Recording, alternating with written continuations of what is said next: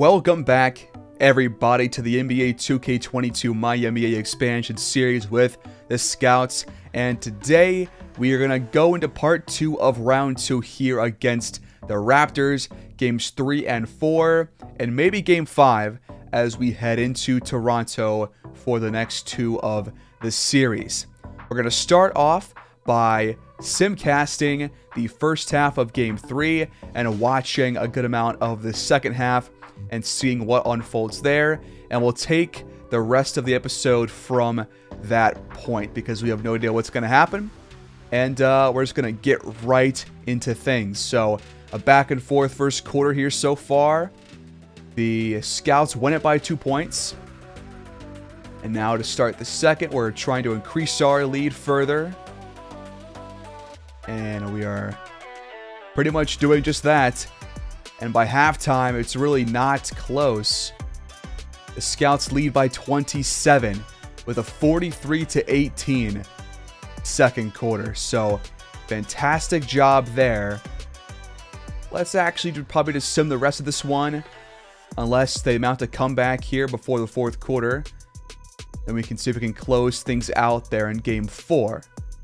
And actually, it's a decent game here. We might want to watch the last 10 or so minutes. Let's go. So, of course, we are at Scotiabank Arena here in Toronto, and we are up by 12 with pretty much the rest of the fourth quarter left. And we're going to see if we can close this one out and go up 3 0 in the series as Outlaw can't hang on. Scouts keep possession. Time counting down. Anunoby has the ball. He fires a shot. It's blocked by Lawrence Hicks. Hicks goes to Outlaw. Shot clock reaching zero. Outlaw has to shoot the shot. He does, and it's no good. Almost got to fall, though. Good defense by Mullen. Jordan, open shot. That one is good. He's got 24 points. Jaws got 27. Both guys shooting very well. Nicholson has a mismatch, pulls up, and it's too strong. Jordan to Mullen, back to Valentine at the rim, but he posterizes Hicks, and the foul is called as well. Good passing by the Scouts. That leads to a chance at a three-point play. The free throw for Roy Valentine is left short, though. Now a three for Nicholson off the rebound. It's good. Jordan just broke his ankles.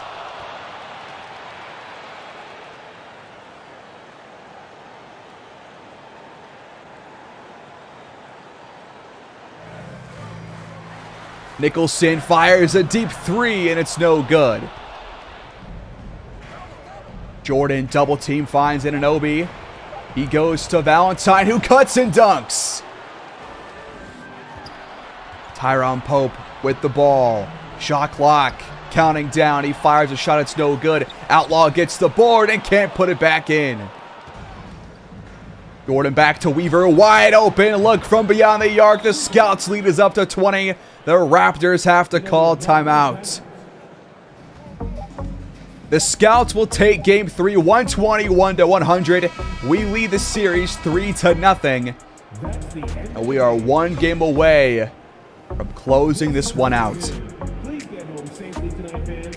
Thank you for being a fan. Have a great evening, everyone, and peace.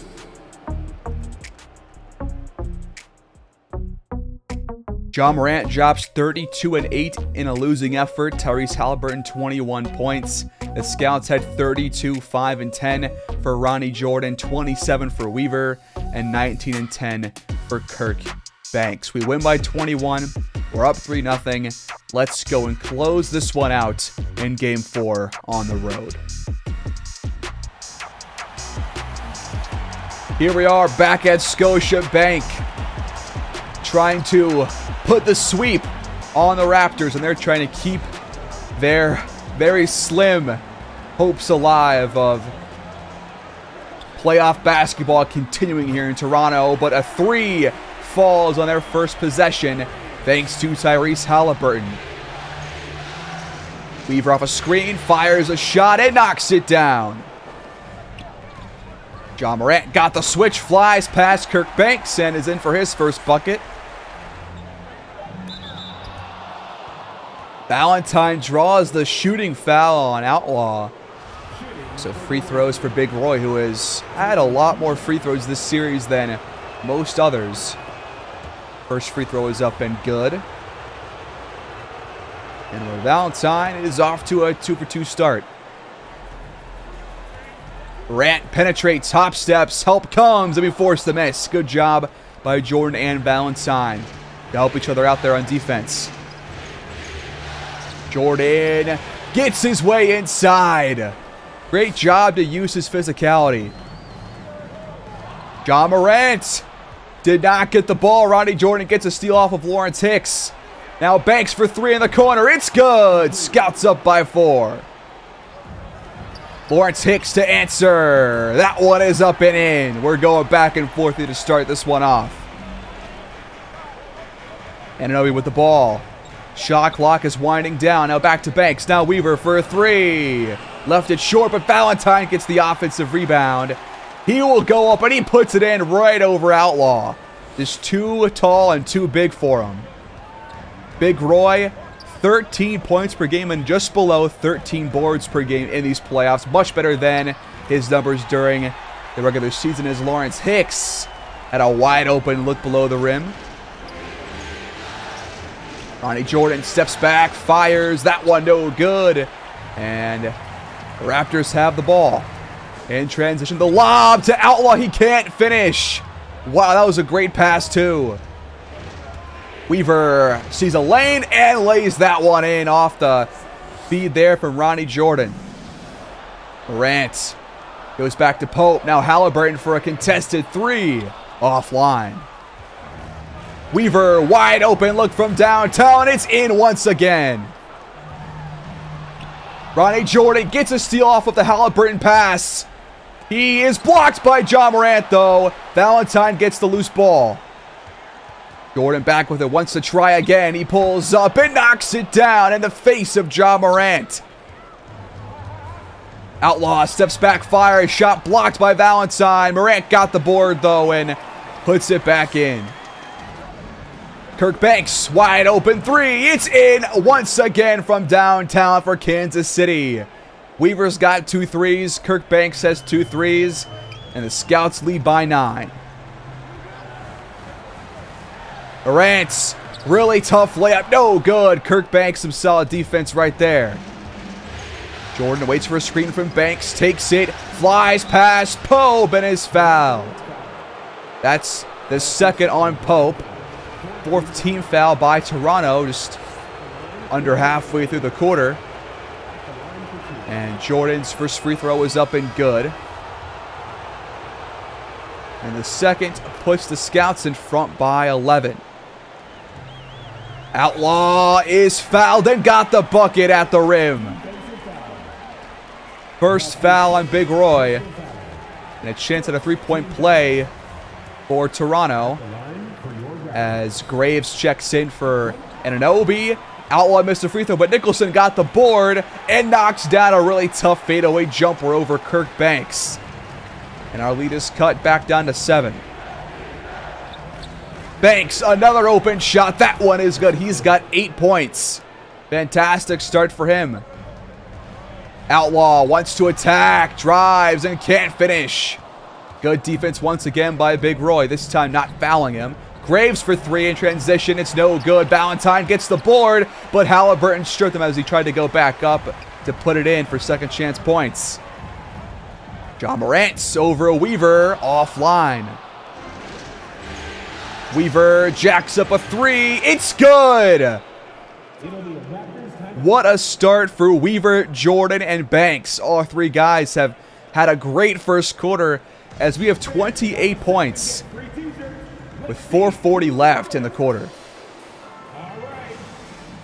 The Scouts dropped 38 points in the first quarter, and we have scored 18 so far, just below halfway through the second. And we now lead 56 to 32. It has not been a close game. After a couple of buckets being traded back and forth to start the game. It has been all scouts since then. Halliburton with the ball. Good defense by Big Roy, and he forced the miss. We've got Cartwright, Graves, Banks, Jordan, and Valentine out there right now. Weaver taking a rest. Valentine, his shot is blocked by Pope. Nicholson can't hit the open shot. Valentine inside tries again, no good. Pope, two good plays by him in a row. Now Hicks, wow. Early tough shot over Banks, who has a lot more length than he does, but Lawrence 6, 10 points, 4 for 6, but a negative 18 plus minus, but a steal right there off of Ronnie Jordan. Jennings spins, fires. Not a good look there for the Raptors. Cartwright, great lead pass to Jordan, who cut it right down the middle into the paint. And we have 58 points. And we are not even close to halftime. Hicks. That shot no good. Kirk Banks was there once again. Cartwright with the ball. Gotta make something happen. And he almost does, but Tyrone Pope. Some good paint defense. Hicks for three in the corner. Left it short. The Raptors have not hit their open shots. Valentine posting up Halliburton. He fades away. Don't love that shot for him. Nicholson with the ball. Got some space, pulls up, and he missed it. Cartwright with the ball. Once again has to make something happen. He pulls up, and it's too strong. Nicholson, really good physicality, but he can't finish the layup. Boston with the ball, baseline, has a shot blocked by Pope. Mullen gets it back, the double clutch, wow. What a play by Tyler Mullen. We have shot 54%, they have shot just 32%. Derek Jones Jr., really tough shot, but he got it. Banks, corner three, it's good. Has he missed a shot yet? I'm not sure, but he had 16 points in the first quarter, shot 83%, and he's having a really big day in this closeout game as Pope gets the offensive rebound and puts it back in. But the Scouts lead by 25, and we are a minute 20 away from halftime. Banks at the rim. Jordan, a great pass to find him there. Banks has 21 points, 88% shooting so far for him. He is having one of the best days of his life. Pope for three, no good. Don't see him shoot that. Shot many times. Jordan slices through the defense. Are you serious, Ronnie? That was absurd. Nicholson dunks all over Mullen and a foul is called.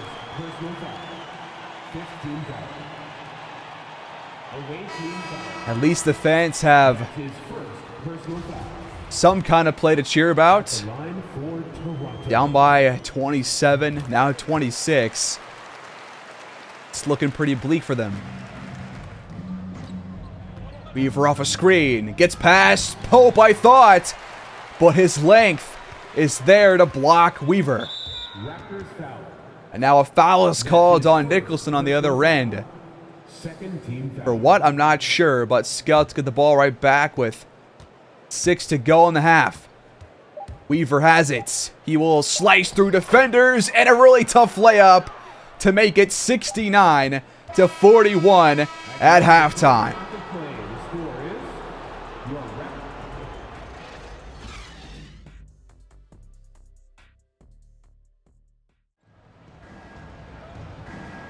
Well, I can't say it's been a very exciting finish to the series, but we'll jump in here with 420 to go and watch the last couple of minutes here to get some more highlights and wrap up the episode because we are moving on to the Eastern Conference Finals once again, and it'll be wide open at the rim. Cartwright found him. Scouts lead by 20. Halliburton, nice move, but he's blocked from behind. I think that was Weaver who got a hand on that one. Cartwright jacks up a shot. It's no good. The ball goes out of bounds off of Big Roy. Raptors take over. Kirk Banks will check back in. Halliburton baseline drive. The runner is up and good. He's got 23. Jordan. No good. Cartwright gets the tip. Can't put it back in Valentine. The third chance is good. The rebounding for us has been spectacular. Halliburton. Another wide open bucket. Jordan, wow, we got Nicholson on skates, but he recovers for a block.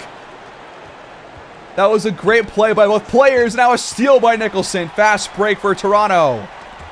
He is stripped by Anunoby. Jesus. Valentine, the hook shot, no good. Pope gets the miss.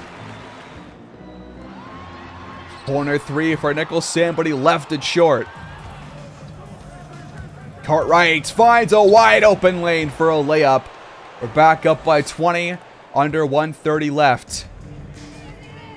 Outlaw, really tough shot at the rim. Valentine, some great defense as per usual.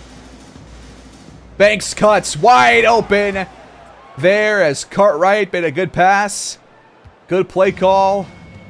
And another big offensive day for Kansas City. The Raptors defense has not played well this series. Halliburton at the rim. Can't finish. Got his own miss back. And that might be his last bucket of the year. Cartwright will put things away with the dunk. No more shot clock left. 132 to 110 is your final score. The Scouts sweep the Raptors. And who are we going to play in the Eastern Conference Finals? Let's find out. Tyrese Halliburton, 27 points. Ja Morant, 21 and 11 as the Raptors are sent home packing. The Scouts get four players scoring 20 or more in game four. Weaver drops 29, Jordan 24 and 12, Kirk Banks 23 and 9, and Cartwright 22, 8 and 6. And by the way, Roy Valentine, a career high 24 rebounds in this game. And that is massive. The Scouts play well as a team and individually. And we are moving on to the next round. Now, who are we going to play? It's Cleveland taking on Boston, so it's the 5 or the 8 seed for us. Over in the West, the Nuggets have a one game lead over the 4 seed Clippers, and the Memphis Grizzlies have a really good series hold over the Kings, but anything can happen. Uh, let's find out what happens here. Gonna send this round. And we are facing the Cleveland Cavaliers. I've got a pretty good feeling about this upcoming series. Um, over in the West, the 7 and the 8 seed will meet up for maybe the first time ever in the Western Conference Finals. We are by far the highest seed left. How is this even possible? You got two 8 seeds left a 7 seed, and then us as the 2 seed. Were all these teams really that fraudulent, or were they just hurt? I don't know. But either way, Cleveland is our matchup once again in the NBA semifinals. So that's who we face next episode. Let's take a look at their roster and see if it's changed that much since last season. We do, of course, know that they traded for Billy Perkins and got rid of Evan Mobley. So we'll see how that changes things for them. But I think right now I will edit Collin Sexton because we know time and time again, as we've seen, that his shot tendencies are very, I guess, messed up. I'm not really sure but they are really high. he gets very aggressive and does not pass the ball. And I just don't know why, because these don't look that bad. These don't look like too terrible. At least for jump shots. The layups might have to go down though. We'll lower that a little bit. Lower that. See if this has any effect on how he plays because he does take way too many shots every game that we watch. So, let's see what happens here.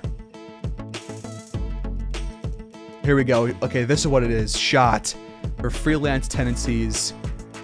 We're to lower that to about 79. See if that has any good effect on this. We'll save him as a character. And hopefully that will fix things. But here's their roster. Garland, Perkins, Allen, Sexton, Torres, Bazley, Trey Murphy, Weber, Dixon, Hicks, and more. They also have uh, former scout BJ Mason, who not sure he's had the most successful career. This is his fourth season, and he's definitely not having a, a good career. So that is where we leave things, and let me know, guys, do you want to watch this whole series in one episode, or have it split into two or three parts if it comes to that? Because we could do it like the Wizard series where we are probably going to sweep them and we try and fit it all into one episode that's like 40-ish minutes long. Or it could be two parts like this past series against the Raptors. Let me know in the comments what you guys think. And uh, until next time, take care.